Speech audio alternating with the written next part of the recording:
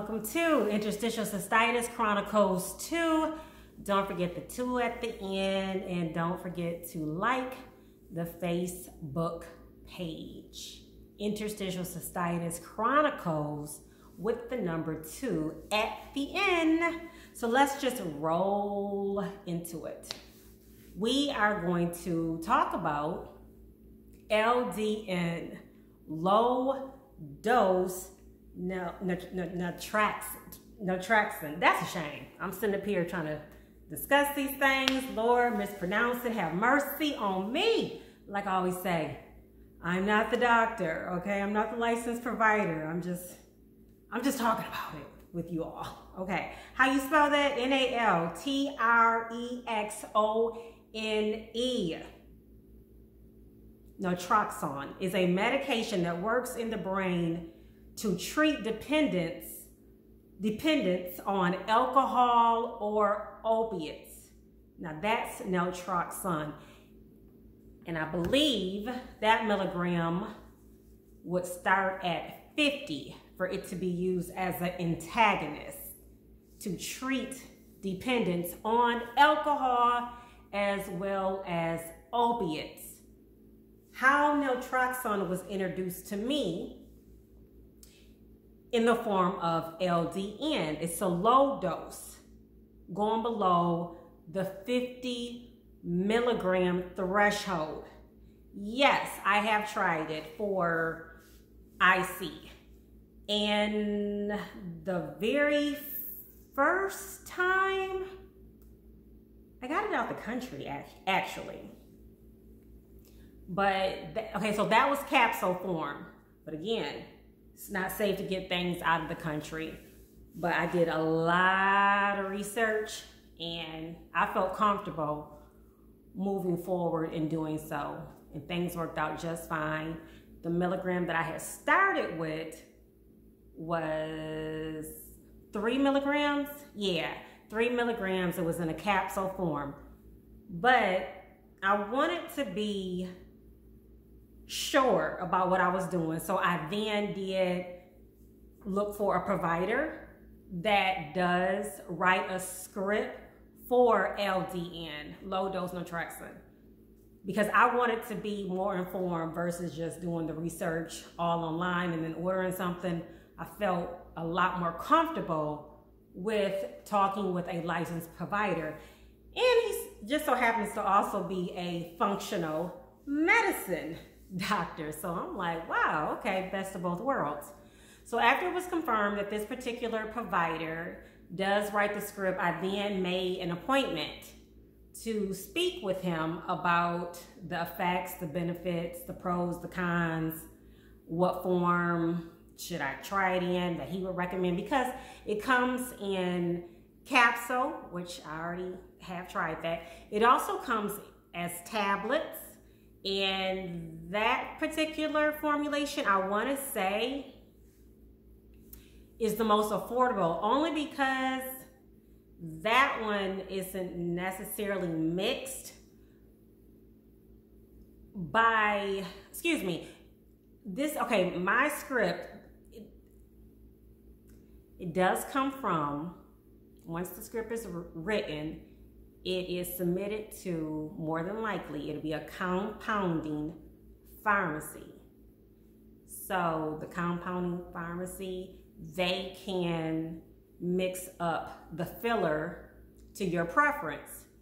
Some people may want ginger in their compounded prescription. Some people may want, what else? Um, baking soda. That's an excuse me, that's an option as well.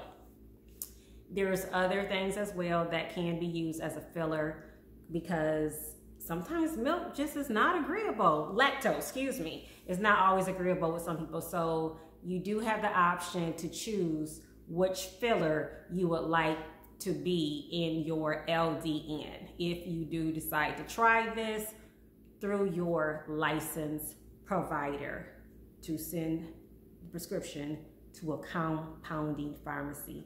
Basically, you're just not gonna go pick this up at your local Walmart, at your local Publix, at your local um, CVS pharmacy. Compounding, more than likely, is where that script will be filled.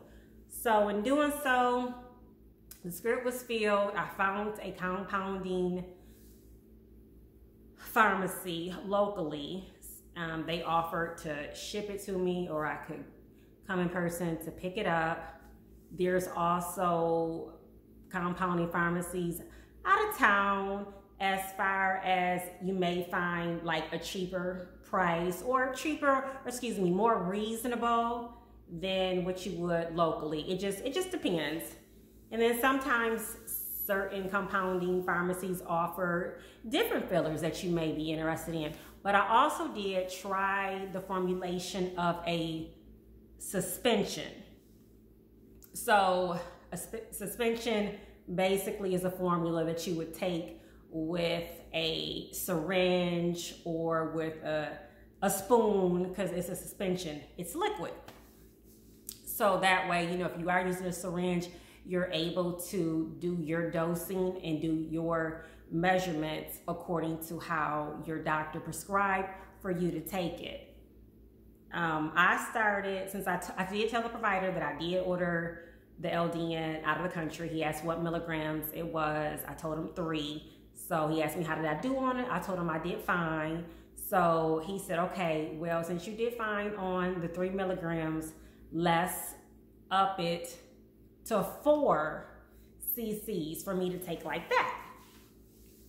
Because uh, cc's or depending if I was gonna get the tablet, then that would have been four milligrams that was going to be prescribed for how that was written. Now, as far as the benefits are concerned, I did benefit. It helped me a great deal with nocturia, nighttime frequency. Nope, I was not getting up to go use the bathroom repeatedly, repeatedly, over and over again.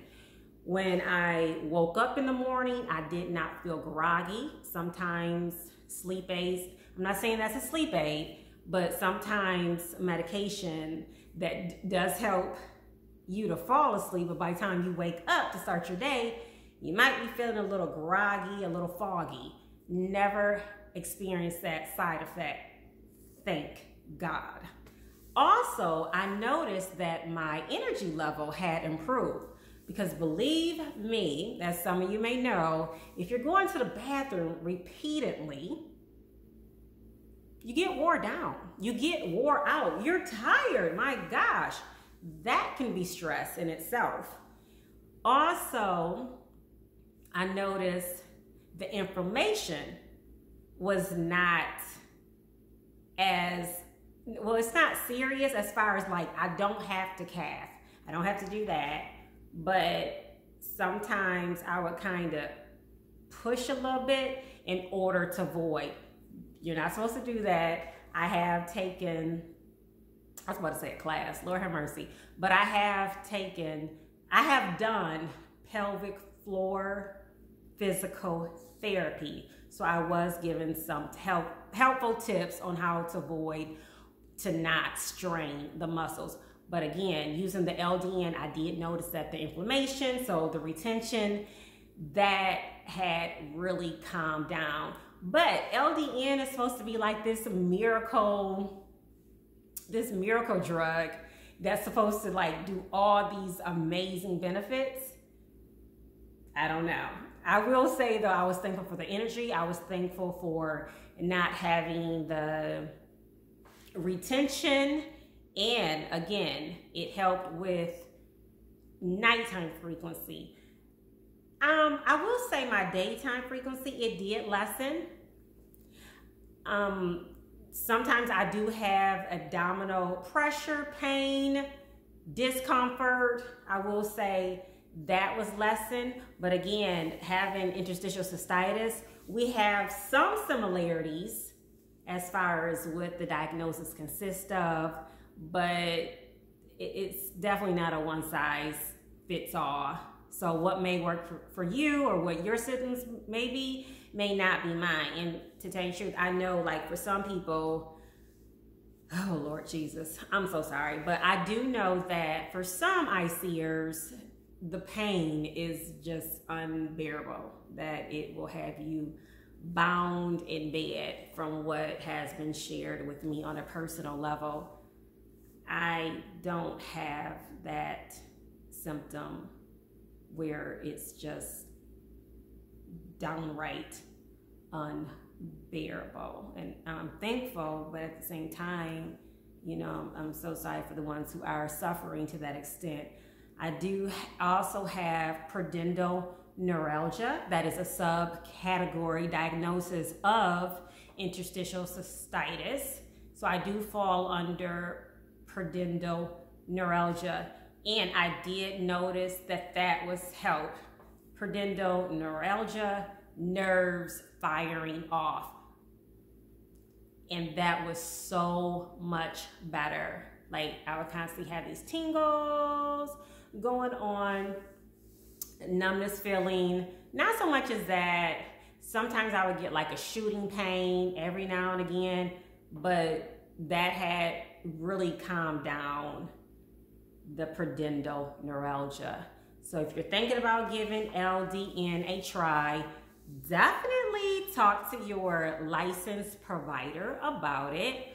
Also do some research on it so you can be prepared what questions to ask your provider. But it definitely was worth a try for me, and I'm glad I did try it. And again, I'm so thankful I didn't experience like all these like really, really weird side effects. But again, it did help in ways. I'm glad I tried it. So that's it for now. Signing off, Interstitial Cystitis Chronicles 2. Holla at you later.